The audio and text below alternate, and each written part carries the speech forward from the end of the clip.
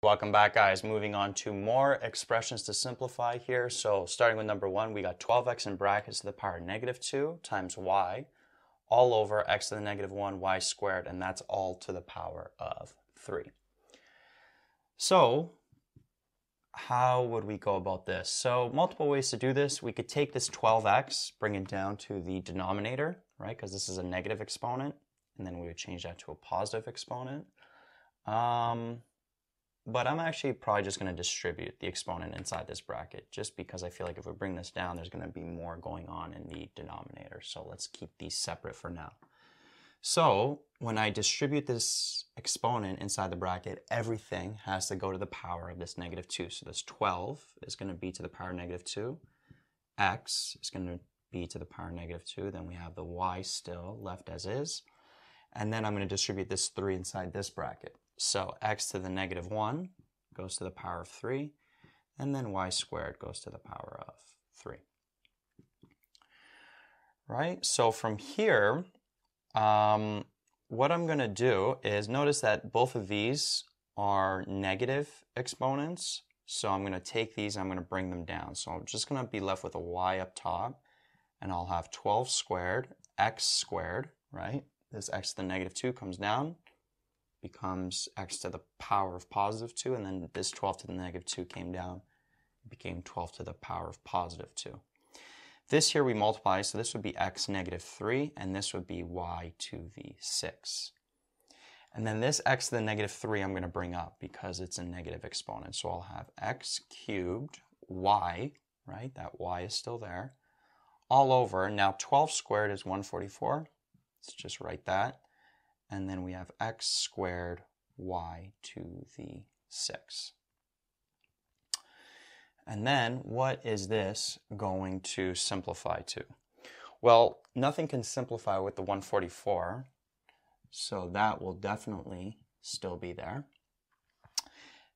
There's three x's up top, two x's on the bottom, meaning that there's going to be one x left up top.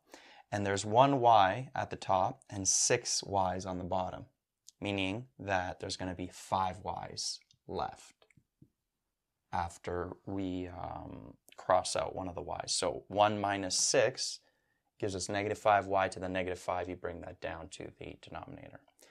And then 3 minus 2 is 1, so that's like x to the power 1, and that stays up top. 144 can't do anything else with that, so that there is your final answer to number 1. And then uh, number 2 um, here I'm just going to distribute this exponent and that exponent inside both brackets. So x to the negative 4, this x is going to be squared, right? And then this y to the negative 1 is going to be squared. And then I'll have y to the 3 all over this x to the negative 5 will be squared. This y will be squared x to the negative 3, and then this is y squared, like that. So from here, um, we got x to the negative 4, x squared, y to the negative 2, y to the 3, all over x to the negative 10, y to the 4, x to the negative 3, and then y squared. Now, notice from here you could have simplified these two, right? They have the same base. Um, but I like to first make sure that everything is distributed, and then I like to go from there. So what I do at this point is I look for any negative exponents, and then I just flip them. So this x to the negative 4, this y to the negative 2, that's going to come down to the denominator.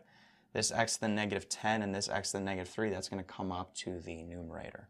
So this comes up, that'll be x to the 10. This comes up, that'll be x to the 3. And then this x squared is still up there, and then this y to the 3 is still up there. All over, this is going to come down, this is going to come down, so we'll have x to the 4 y squared. And then this y to the 4 is still there, and then that y squared is still there. So continuing this up here, um, notice all of these same base, so we could add the exponents. 10 plus 3 plus 2 gives us 15. So we'll have x to the 15. This y to the power of 3 will still be there. All over um, this x to the 4, nothing else, has a base of x in the denominator. And then these all have the same base, so we could add the exponents. So 2 plus 4 plus 2 gives us what? y to the 8.